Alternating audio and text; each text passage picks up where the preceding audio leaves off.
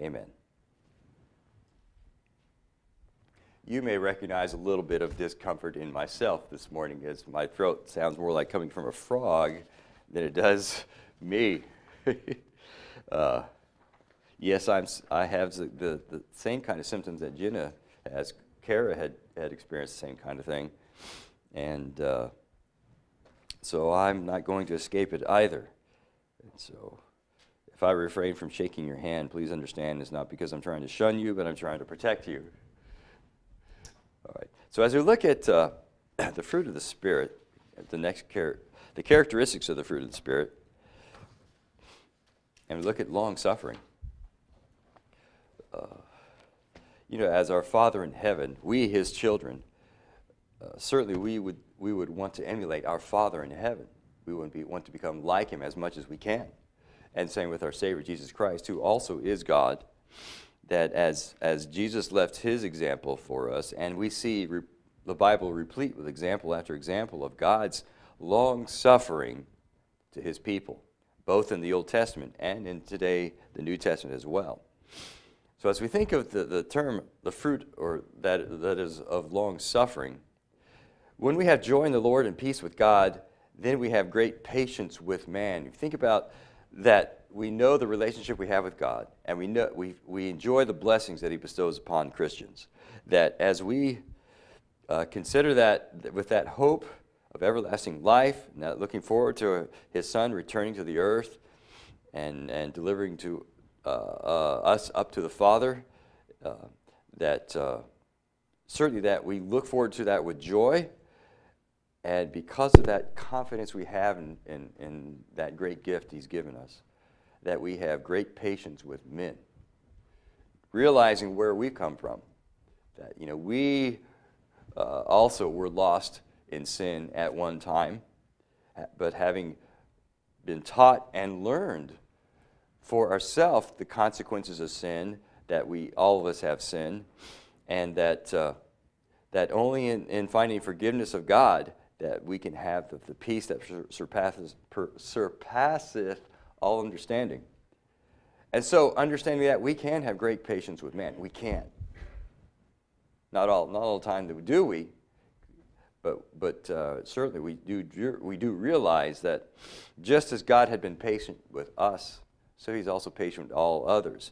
As we consider to rejoice in the Lord always, again I will say, rejoice, let your forbearance be known unto all men. The Lord is at hand. In nothing be anxious, but in everything by prayer and supplication, with thanksgiving, let your requests be made known unto God. And the peace of God, which passeth all understanding, shall guard your hearts and your thoughts in Christ Jesus. That's Philippians 4 4 through 7. But uh, let your forbearance be known unto all men. Exhibit it in such a way that they understand. They can see it. They can see it uh, by example. Long suffering enables us to endure hardships and much injury without provocation that is, when it, without, we are not provoked to lash out at others. We can endure, we can forbear, uh, regardless of how we might be treated. In fact, Thayer, you might be familiar with Thayer's lexicon um, of uh, Greek, the uh, New Testament Greek uh, terms. There we go. And uh, it's pretty extensive. It, uh, he has root, root words of the Greek language, and he has, ex, ex, uh, well, and how each of the words as in their derivatives are used in the scriptures, and it gets pretty, pretty in depth. And so, as he defines this term long suffering in this passage, to be of a long spirit, not to lose heart, to persevere patiently and bravely and enduring misfortunes and troubles, to be patient in bearing the offenses and injuries of others to be mild and slow in, ang- in avenging, to be long suffering, slow to anger, slow to punish. That's the idea of long suffering. And, and of course, the, the, the term involves a lot of, of, we can imagine various scenarios where we, we, would, we would see how our resolve to exhibit long suffering uh, plays an important role.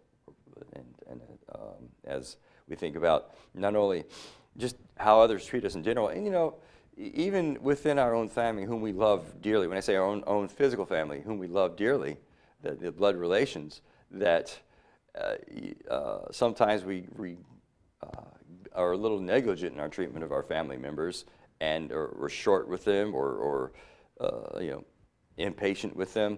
Um, and or we feel like we're not being treated with the due respect that we deserve. And so that's where our long suffering goes. And so with that familial relationship, but also our family in the family of God, as we consider, sometimes we respond in a way that's that uh, would it does not reflect the, the love of our Savior, you know, and uh, but yet the long suffering of ourselves being treated like that, we endure it. We like say it's just a passing thing, you know. But uh, but especially those are in the world who aren't don't have any inclination to be long suffering. Uh, and uh, and don't see a reason to be long suffering. Uh, case in example, you call up for help service and whatever whatever you need, and the guy on the other end is not very responsive to your needs. You recognize a failure in your appliance, and you need service quickly because you rely upon the appliance, and he just doesn't seem to be interested. So how do you respond? Well, you've heard the term the, the squeaky wheel gets the gets the grease, or squeaky wheel gets the oil. And so if you're the squeaky wheel, you make the noise so that you'll you'll be receive the appropriate uh, uh, response. And you know, uh, being assertive is not necessarily being being impatient. Recognizing that you're not getting the service that you, you deserve, there's nothing wrong with being assertive, but yet I think there's a way that you can go about it without being disrespectful. But as we think about the, in the everyday lives of people, they, they see, they sometimes, they, they feel like they're justified and they have to be aggressive, not assertive, but aggressive to get the results they, results they want. So the, that we consider that the world typically doesn't understand long suffering, uh, except for when it comes to personal interests, I would say. Uh, you know, God has always been long suffering to man. Uh, Adam, could you read Exodus 34, verses 6 and 7?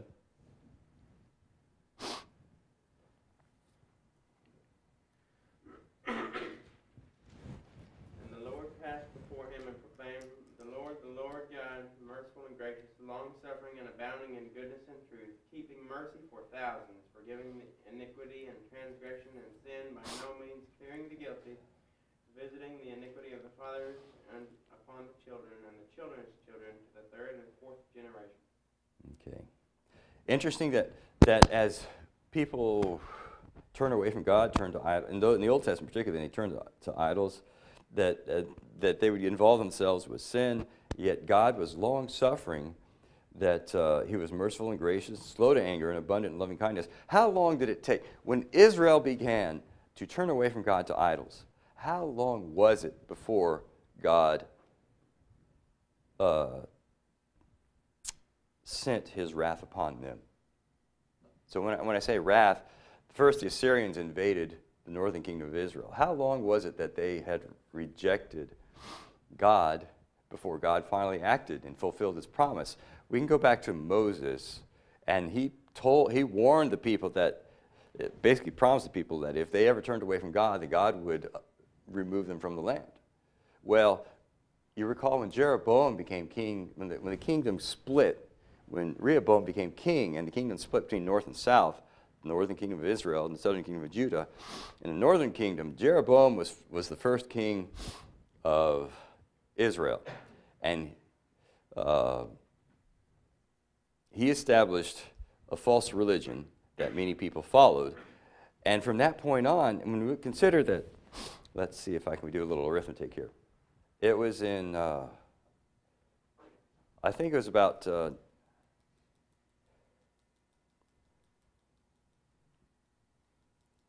about 900 BC.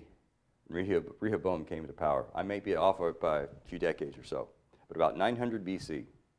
And then when the Assyrians came, that was uh, that was 722 BC. So between 900 BC and 722, that's 178 years.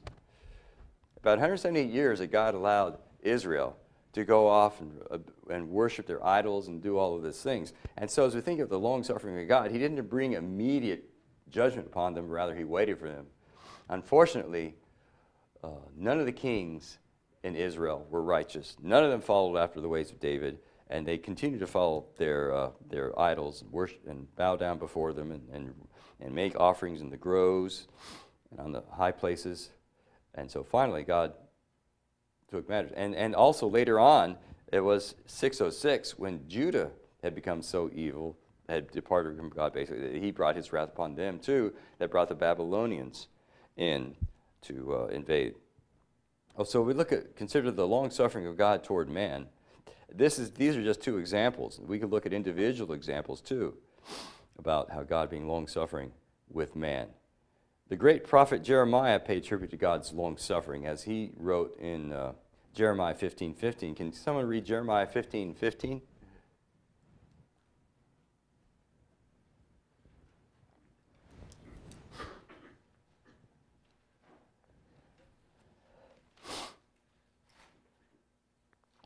Lord, you know, remember me and visit me, and take vengeance for me on my persecutors. In your enduring patience, do not take me away. Know that for your sake I have suffered rebuke. Okay. So as, as Jeremiah was giving uh, attention to God's long suffering, and Jeremiah, of course, he was a prophet to, to the uh, to the God's people in, in Judah, warning them of uh, the up the upcoming exile they would they would suffer, and nobody believed him. And in fact, they didn't just not believe Jeremiah, rather, they were actively uh, persecuting him. Um, and so, as Jeremiah was be, suffering through these persecution, he would say, Avenge me of my persecution persecutors. But he says, Take me not away in thy long suffering. So, we know that God knows. We go to the book of Hebrews and, and, and uh, learn how God not only brings calamity upon those like the day of judgment, oh, I should say the, the, the, the day of the flood, when uh, God commissioned Noah to build the ark and uh, waited 100 years as Noah was building the ark. And uh, uh, actually, when he announced it, it was 120 years. And as Noah was constructing the ark, his, himself being a righteous preacher, was preaching to the, those people that day to repent because God was going to destroy the world. And they didn't. But throughout all this, finally, God brought the floods, destroyed the, the entire world with water, but delivered Noah and his family and the animals in the ark uh, from, the, from the, that treacherous world that they had come into. So God knows how to deliver the righteous in the midst of his wrath upon the evil. Look at 2 Peter 3.15. 2 Peter 3.15.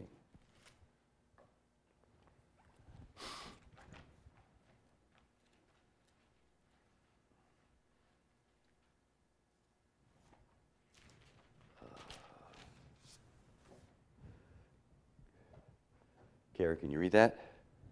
And accounts that the long suffering of our Lord is salvation, even as our beloved brother Paul also, according to the wisdom given to him, wrote unto you. Okay. So as we think about, let's see, that God in his long suffering, that his delay of the last day is giving more and more people opportunity to to uh, repent of their sins and turn to God. I should say, turn to God and repent of their sins. Okay. And to find salvation that is that God so freely gives. But that as as those people that Peter to whom Peter was reading, Peter was uh, preparing them mentally, emotionally for the coming tribulation that they would suffer, the persecutions they would suffer. And so he was giving them encouragement and the reason for that they should endure and then in, in the last part, in verse 15, and the long suffering of the Lord is salvation. The fact that, that God was not going to end the world real soon, it's giving more and more people to, to uh, find everlasting life. You know, it's. Uh, we know that uh, there are no signs of the Lord's return. He will come as a thief in the night, and that uh, uh, when he comes, it'll be a big surprise for many people. To those who are prepared, it won't be a surprise because they'll be expecting him. And uh, but those who are expecting him are looking forward to that eternal reward. And so it would be reasonable to, to look forward to re- the return of Christ. And as we think about the reward and the, uh, and the fulfillment of the promise of he- the heavenly realm being fulfilled on that day, would not the Christian look forward with anticipation for that day to come? In fact, I wonder how many people are looking so forward to it they wish it would come tomorrow. You know, or, or have we become complacent in that knowing there are no signs, and it's been almost 2,000 years since Jesus ascended into heaven, that we're wondering, well, it's probably not going to happen in my lifetime. That's generally the attitude, I would think. I mean, that, that Jesus is not going to come in my lifetime. But yet we don't have that promise, do we? In fact, we're warned that in the day that we least expect, Jesus will come. Okay? And so we should be prepared looking for that day, as, as the scripture teaches to watch and pray. But as we think about God is putting the day off, I say, I don't know if He's putting the day off so much, but it seems like it's a long time. And the fact that God is long suffering, giving more people time for salvation, to find salvation. Okay. Uh, and as I spoke about earlier in Noah's day, that Paul, Peter also reminds us that God was long suffering in Noah's day. Look at 1 Peter 3:20.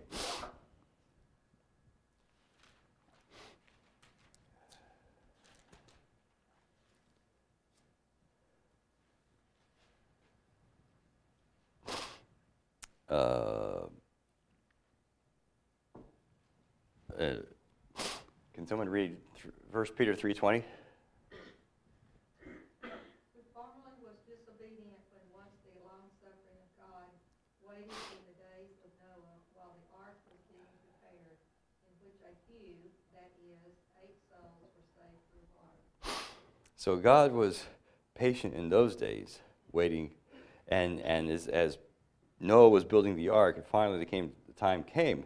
But as God had announced to Noah, there'd be 120 years, and He would destroy mankind. Okay. So as we think about as children of God, we too must be long suffering. As we think about the the fruit of the Spirit and that characteristic being long suffering. And as I mentioned earlier in the, in the, in the few weeks ago, these characteristics are natural products of living in the Spirit, living according to the Spirit. Uh, it's, it's what comes by when we focus upon living in a spiritual life rather than a fleshly life. And so it's just natural that we would be long suffering. However, sometimes there are things that we need to uh, attend to and give effort for as we think about uh, let's see. I think 2 peter chapter 1 uh, verse 5 as peter is giving them instructions and preparing them for the persecutions that were to come and, and peter first or second peter verse chapter 1 verse 5 and beside this giving all diligence add to your faith virtue and to virtue knowledge and to knowledge temperance, and to temperance patience, and to patience godliness, and to godliness brotherly kindness, and to brotherly kindness charity. Okay, so we see that this is something that the Christian himself must attend to and working on. And as he says in verse 8, For if these things be in you and abound, they make you that ye shall neither be barren nor unfruitful in the knowledge of our Lord Jesus Christ. So there are aspects of the spiritual walk that we, and our personal characteristics that we give attention to and work on in our own lives. And as we look at long suffering, sometimes it's not so convenient to be long suffering. And so sometimes we have to remind ourselves I'm walking in the Spirit, I'm going to be long suffering. Uh, Ephesians 4, verse 2. Can someone read Ephesians 4, verse 2? I'll be right back in a moment.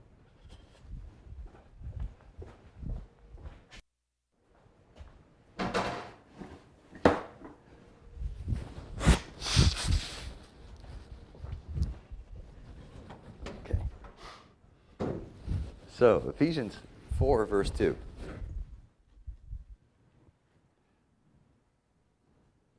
All lowliness and gentleness with, with long suffering, bearing with one another in love. Okay. Actually, go back. Go back to the beginning of chapter four. Of what does he? Be, what does the, he begin with this thought of? Ephesians four, verse one. Adam. I therefore, the prisoner of the Lord, beseech you to walk worthy of your calling, which you were called, with all lowliness and gentleness, with long suffering, bearing with one another in love. Okay.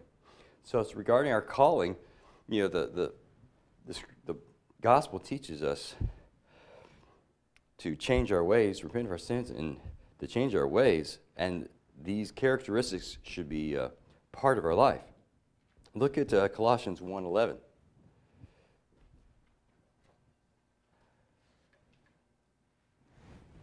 In fact, let's see here.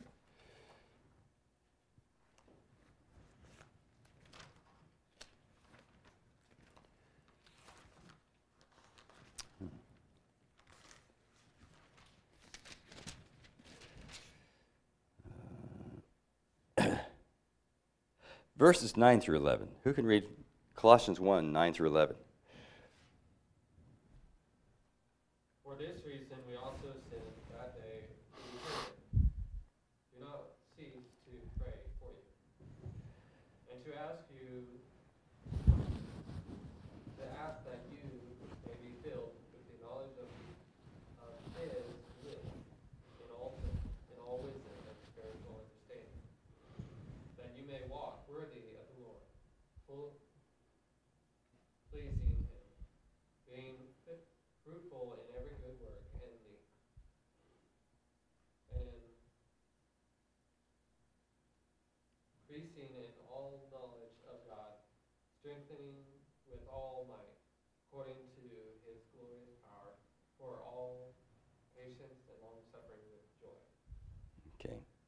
So as we are, are uh, walking worthily in the Lord, that we be strengthened with the might according to his glorious power, unto all patience and long suffering with joyfulness. And so that as an aspect or characteristics of the fruit of the Spirit, that we would be filled with that, that we would exhibit that. So uh, Colossians 3.12, last verse that we'll look at this morning. Colossians 3.12.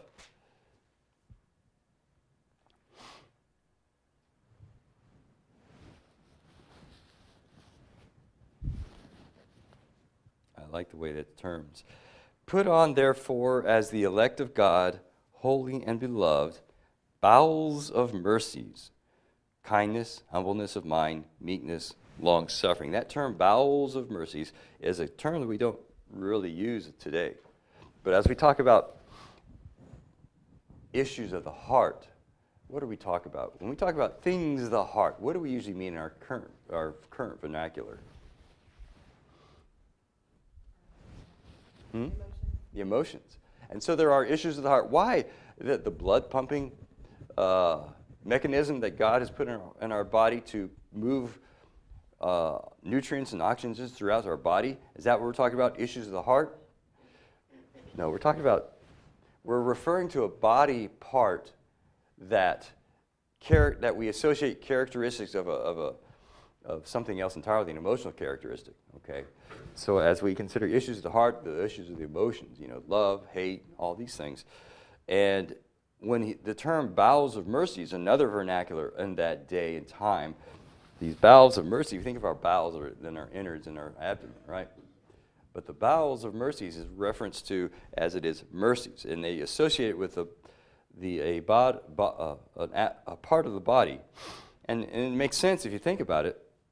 When we are extremely emotionally moved, do we not get a sense of, of uh, di- or discomfort or wheeziness or something coming stemming from our abdomen? You know, when we talk, uh, is when there are extreme emotional aspects, or there are extreme awe, love, appreciation, all these, any of these things, do we not get a sense of a body reaction in, in, in our abdomen? So the idea of bowels of mercy fits completely, perfectly with that. So as um, as we consider that forbearing one another and forgiving one another, if any man have, well, that's wrong.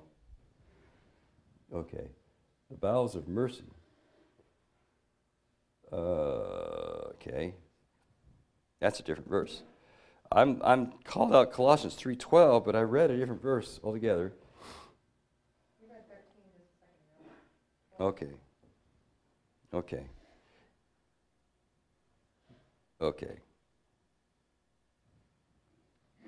So 12, put on therefore as the elect of God, holy and beloved, bowels of mercies, kindness, humbleness of mind, meekness, long suffering, forbearing one another, and forgiving one another. If any man have a quarrel against any, even as Christ forgave you, so also do ye. So it goes along with that long suffering, as we should have an attitude of, instead of tearing somebody else's throat out, we should be uh, passive in that sense. that we don't lash out, strike out. As a matter of fact, I, I can, we consider to be attitudes where we're uh, instructed that if, if, a, if a man strike us in our cheek, turn the other cheek to give him to, so he can strike the other cheek. That if we're compelled to carry a soldier's pack a mile, go with him two miles. That's called going the extra mile. Uh, as a matter of fact, in, uh, in that day and age, it was by law a Roman officer could or soldier could compel someone to carry his pack, but no more than a mile. Okay, that was lawful, and that was not considered undue burden. That was just the law. So you, you would aid the Roman Empire by carrying soldiers' packs if he so compelled you to. But Jesus said, well, you can, you can imagine the, uh, uh, the response of many Jews saying, "Who- to, to the Roman Empire. They didn't want the Roman Empire in there, and yet they were there, and they were in control, and they were, in many cases, well, most cases, they were rather oppressive. And so the fact that they were demanded, it's like the, the fact that they're demanded to, to uh, carry that pack was uh, rather offensive. It's, I would imagine, like in the days of the colonies when the, uh, toward the, the uh, uh, beginning of the revolution, that uh, the, the law, the king's law would require that the colonists uh, provide room and board for the, the British soldiers. Okay, and so as the Americans thought this was so offensive because it, it was impressing, imposing upon us, and that's why that that uh, that uh, articles in our Constitution that won't will not be the case. We will not allow that. Uh, but as you think of it, Jesus said, don't just carry that pack for one mile, go the second mile. Of course, the mile is a, is a measure that we're familiar with. I'm not sure what the mile, what the measurement they used in, in the, the uh, Greek language, but the, the idea being the same. Um, so, long suffering and forbearing. And so, as we might look at the uh, Beatitudes and, and uh, think about all the ways that people would impose themselves upon us. And we're not told to retaliate, but rather to supply a service. Um, okay,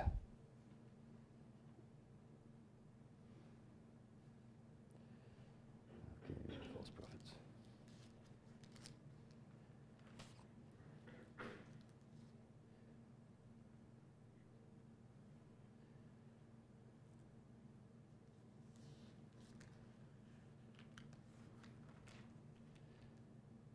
Um,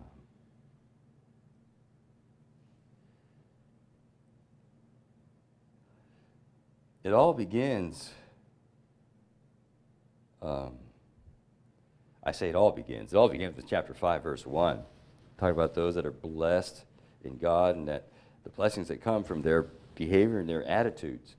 But in verse 11, it says, Blessed are ye when men re- shall revile you and persecute you, and shall say all manner of evil against you falsely for my sake. Rejoice and be exceeding glad, for great is your reward in heaven. For so persecuted the prophets which were before you. Um, ye are the salt of the earth, but if the salt had lost its savor, wherewith shall it be salted? It's henceforth good for nothing, but to be cast out, to be trodden under foot of men. What's he warning them about? If they're the salt of the earth, and they're to behave in such a way,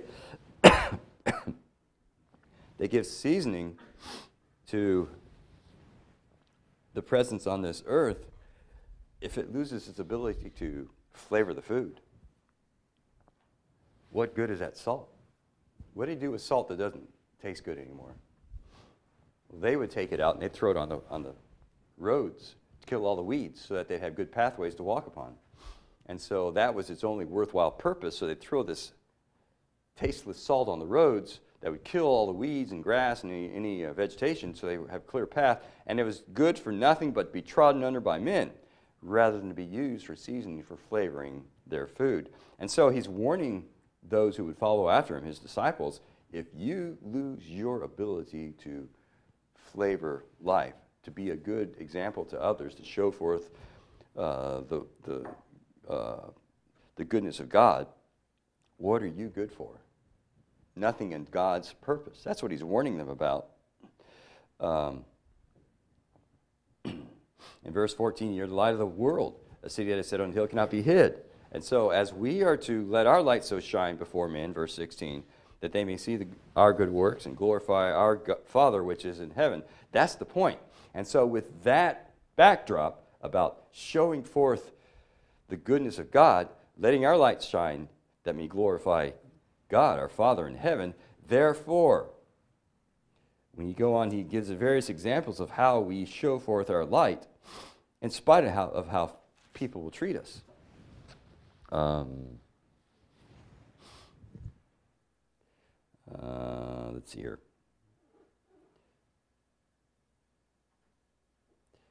Um, so as I, we look at uh, verse uh, 38 of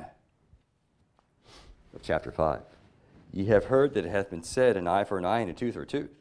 But I say unto you that ye resist not evil. Don't put, your out there, put, don't put yourself out there to be a target of evil. But whosoever shall smite thee in thine, on thy right cheek, turn to him the other also. Don't bust him over the, over the head because he smacked you. Don't elevate things. Show forth God's light. Show forth your light to glorify God. Um, verse 40 And if any man shall sue thee at law and take away thy coat, let him have thy cloak also.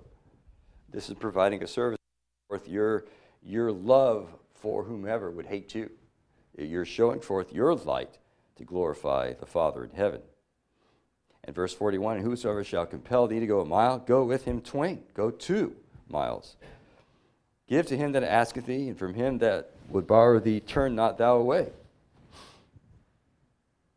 In verse 43 and 44, summarizes the whole point. Ye have heard that it hath been said, Thou shalt love thy neighbor and hate thine enemy. But I say unto you, Love your enemies. Bless them that curse you. Do good to them that hate you.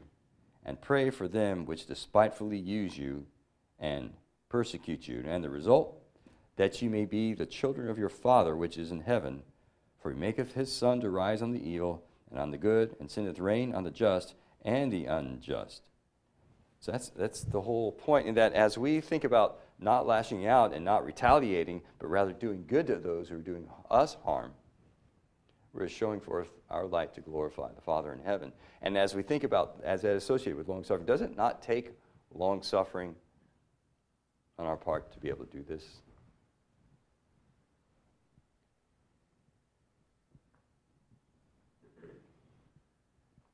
And you know, I think the re- end result is as they see you, why is he doing that?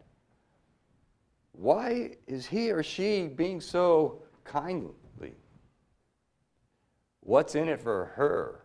Why are they doing, you know? And so they ask the question, and they might ask you, why are you doing this? Why are you so polite and gentle with me as, as harshly as I've treated you? You know, and say, because my Lord told me to that I should love everyone. And certainly that would be an attraction. This is the Christian life. I don't, I didn't do anything. this is the Christian life. That as hard as it might be, but as we walk in the Spirit, it's a natural fruit that follows with it. And yes, okay, when you say natural fruit, if we have been walking in the Spirit, it is natural that it would occur, but it doesn't mean that there's no effort involved with resolving ourselves to be this way, long, be long suffering. After all, God has been so long suffering to all.